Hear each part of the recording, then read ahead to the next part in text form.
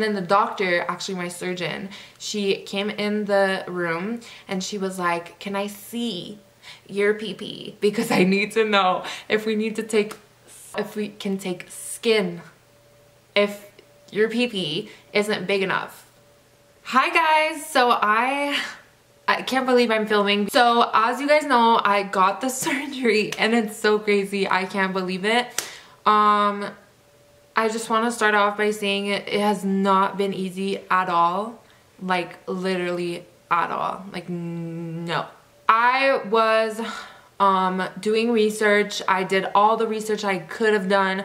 I watched all the videos about SRS and I would never have thought it would have been this difficult but I did have a lot of complications so let's just get into it because your girl had a lot of complications. My surgery was on November 2nd and it was with Dr. Belanger. If you guys don't know who that is, she's really good. She I know a couple of girls that she did and their pussy looks cute, let me tell you. You basically have to get there and I live in where I live now. I'm not gonna say my address, but I have to go to Montreal, which is a couple hours of car by car. I was really, really stressed. So what they do is they give you a hotel to stay so that in the morning you're right, you're right where the hospital is. So I stayed at the hotel with my mom, which she came with me. I know I talked about this before. My mom is not 100%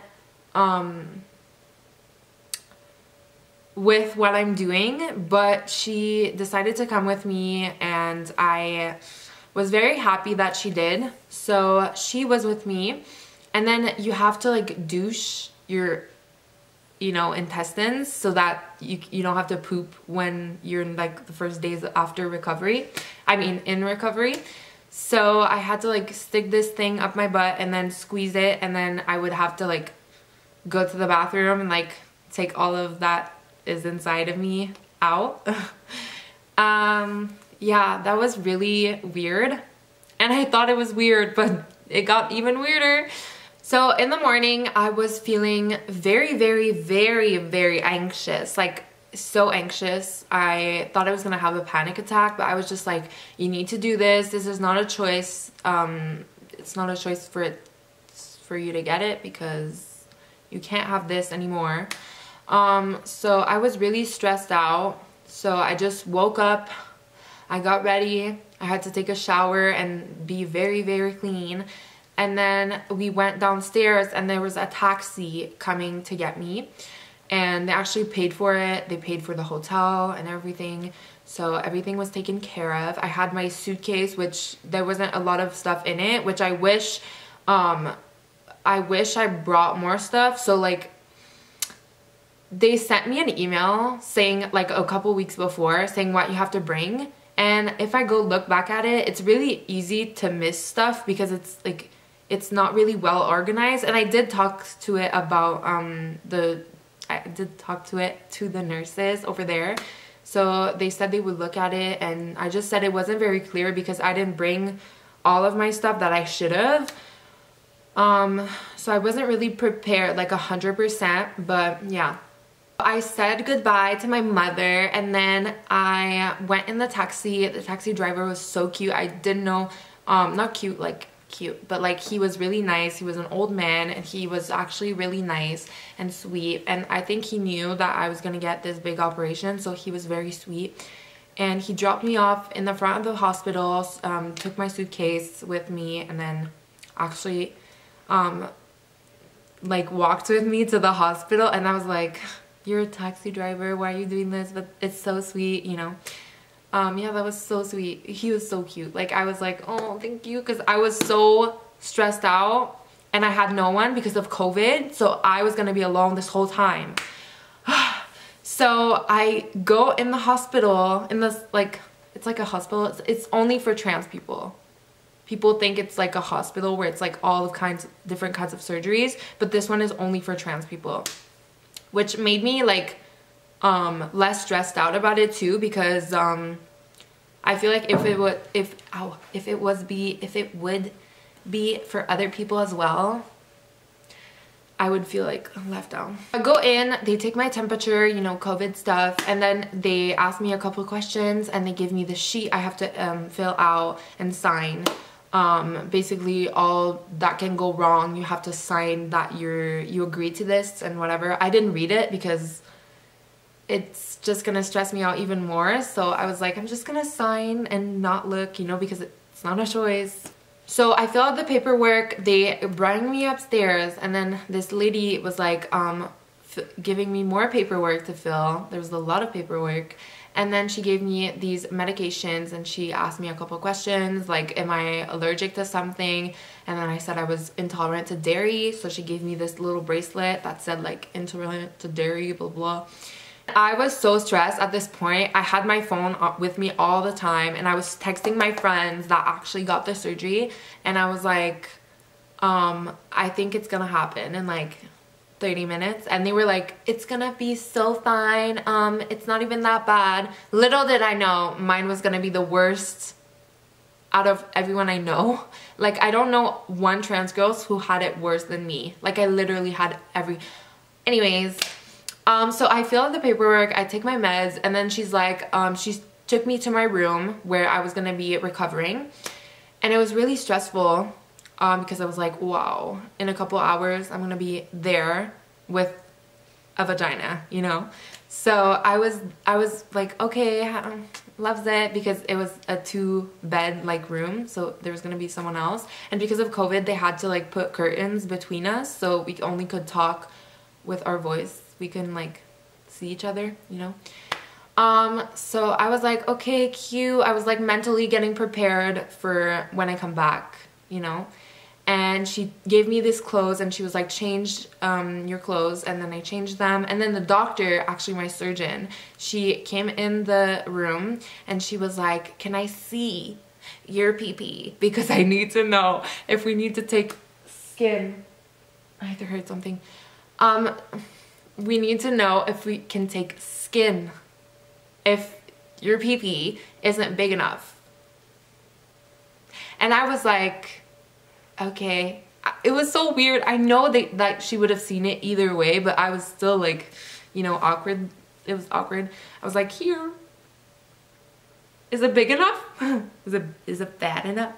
Is it fat enough? Yeah. She was like, if you don't have enough depth, can we use a piece of your thigh. And I was like, no. like I I hope you have enough, but I don't want to, you know, have like a piece of my thigh missing. Um yeah, so she asked me that. I was like, "No, um just, you know, no." Um yeah. And then she went away and then I was on my phone. I called my friends. I was like, "Oh my god, oh my god.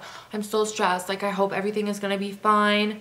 and they were like yeah it's not even that big of a deal and so they actually helped me like relax in the beginning but then after I was like why is mine worse you know and that made me stress um so this girl came and she was like we are ready for you come with us and I was looking cute. I had my little braids with like this um, cafeteria lady net on my hair. Wait, did I have a net? Oh no, it was like a, a bonnet yeah, it was like a bonnet. And then um, I had my like hospital fit. And then, um, yeah, so I, I go in this hallway and then as I'm walking in the hallway, I realize that we're literally in the hallway of like surgeries. And then I look in like the door and there's like, I look in the windows and I can see people getting operated. But I, can, I couldn't see, but I could see that like people were getting operated on like but I couldn't see anything you know what I mean um so then I realized I was like oh my god this is here that you know she's gonna get chopped off um so yeah and then I go they show me the room and then there was so many people it was so stressful it was so freaking stressful um yeah uh it was so stressful. So there were so many people um, getting stuff ready for me. And then the girl was like, sit on the on the bed where I was gonna get operated on. And then I sat and she was like, bend your back. And then she, they injected me with something to numb my like bottom half. Um, because actually they didn't put me to sleep. they gave me medicine that could like make me sleepy and then sleep. But if I woke up, it wasn't that big of a deal because um, it's all numb and like you can't feel shit. You can lay down and then I laid down and then boop, I went to sleep, which was weird. Um, yeah. And then I actually forgot what happened after like, but I, I have tea. I have tea. Um, so I woke up and they were carrying me into my room. So I go, um, they they go in my room and then the guys are like the nurses they're like one two three and then they put me on the bed with like the little thing and then um yeah so i was in my bed and then this girl came and i was like half asleep half awake and she was like did you do you remember? And i was like what? And she was like you woke up during the surgery. And i was like no way. I was so high on drugs and i was like what? Literally oh my god i was like it was not processing. And then she was like yeah you woke up and you were like are you done yet? And then i went back to sleep. She was like you woke up. Do you remember? And then actually came back to me later but yeah that was crazy. And it wasn't traumatizing. It was actually kind of funny um, because I couldn't really feel anything and I couldn't see anything because there was this like curtain hiding everything here. So when I woke up like this, I couldn't see. I could only see the curtain.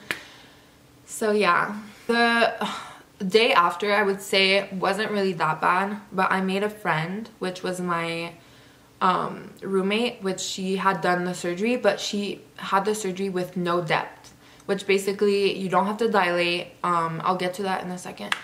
Um, but it's like, it's literally changing your pee pee into a, a vagina and there's no hole. Like you can only pee, you know? And there's a clit, but you can't fit something inside. It's weird. Um, so she had that. I don't know why. I didn't want to like ask her because I, I didn't want to like offend her. Actually, ended up being friends, like really good friends. And then after you're in the hospital where they you recover for two days, they send you into like a kind of like big house and that is where you um, are more independent you change your eyes yourself um, you change your bandages yourself and yeah i didn't really like that place only because you know i'm grateful they keep us really like kind of long it's a week they keep us and in the us i know they only keep you like two days which isn't even believable. Like I don't know what I, I would have done. So right now I can't really sit properly yet and it's been two months. But um, I'm sitting on this donut right now. And it's like a donut cushion and it's really not comfortable. So, so yeah. So at that place I had a lot of um, like stories happen to me and I'm gonna do a lot of story time on that. So I'm not actually gonna like tell them on this video because this video is gonna be way too long um yeah it's already like 30 minutes long um so over there um i kind of like had a shock because i watched a lot of videos where um people would like explain what happened and no one really explained that your is gonna look disgusting like when they took off the bandages, I don't know why I thought it was gonna look cute and like stitchy, like stitches and like a cute little like swollen vagina.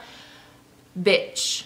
When I saw it, I fucking like started crying and it was too much. And like while I was at the house, I had so many things happen. Like I had a urinal leak, so my bandages that were stitched onto my vagina um, they were soaked in pee all the time with the dry blood. So it smelled disgusting all the time. Um, yeah, it was disgusting. Um, it wasn't fun. Like, also my friends there, they had nothing of the sort. Like, the friends I made there that just had the surgery at the same time as me didn't have anything like me. Like, their surgeries went great. Mine had like all these complications already and it was very frustrating. Um, yeah, it's actually getting to me right now because it's really frustrating like having something and then you see all the people that had it there it was so easy and you um you know you went through a lot worse. Like it was I don't know how to explain it but um like right now it's good it's just really really swollen and like my friends already they're not swollen anymore but it's fine over there also the food was disgusting. I'm sorry but the food was gross. So um, i literally spent all my money there because i was ordering food all the time. And you can't really do anything except eating and walking outside which i didn't do which if you're watching and you're getting the surgery i'm telling you go like get up your bed and go take a walk. Because that literally made things worse for me because I, my body wasn't circulation, wait what? My body it wasn't circulating as much because I was laying in bed all day and this needs to be like, you know, stimulated. It needs to have blood flow, you know. So um, because of that, that I didn't walk a lot, um, I had a blood clot. Um, actually two one was where my clit is, which was perfectly fine. They said it was actually good because it was protecting the clit. Um, and the other one was where my P-tube was, which is a catheter. And because I had a blood clot there, they had to wait to remove it. Because if they removed it, the blood clot would like bleed and then it would um, block my pee hole so I couldn't pee. So that's why they had to leave my P-tube in for a more one more week and when I was home I had it again. It was the worst.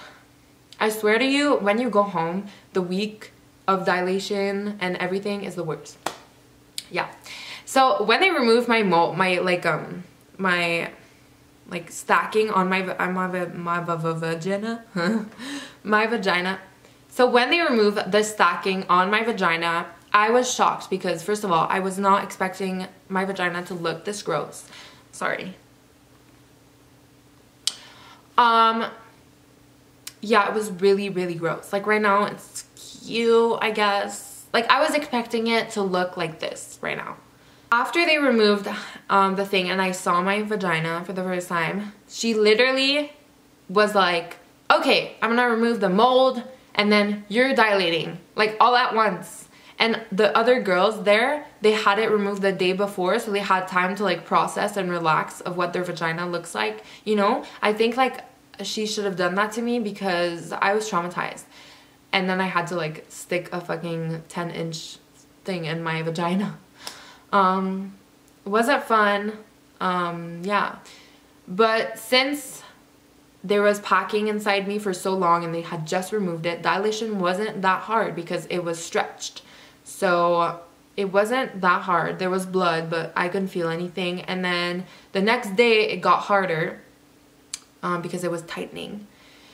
And then basically that was my last day. And when I was dilating, I was thinking and literally I'm telling you, I didn't know how I was going to do it. Like I was like, how, how?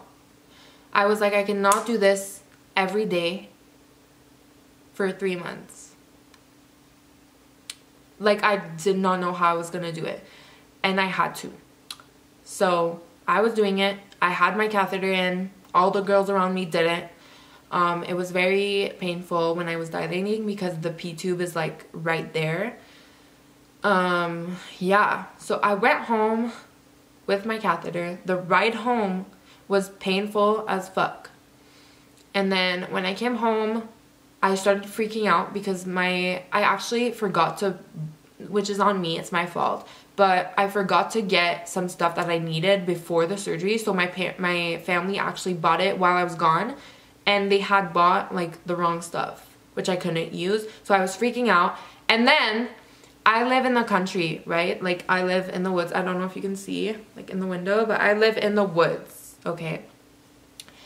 And here we have well water and it's like not 100% clean so I cannot use it on this. So I couldn't take a shower. I couldn't take a bath. and I was freaking out. I, I also I had just thought of this when I got home. I was like, fuck, I live in the country. Like I was so stressed that I forgot about all of that. And then I was panicking and then for a week it was that. Like only panicking, only stressing, only um, worrying about uh, is it gonna how is it gonna like end. It was bad. So I would say um, about uh, two weeks in, it was actually starting to get a little better, but I still have like um, suicidal thoughts. I did have some. I was sometimes I was like, I, I wasn't seeing the light at the end of the tunnel basically. So that was basically the surgery um, story and like what basically happened.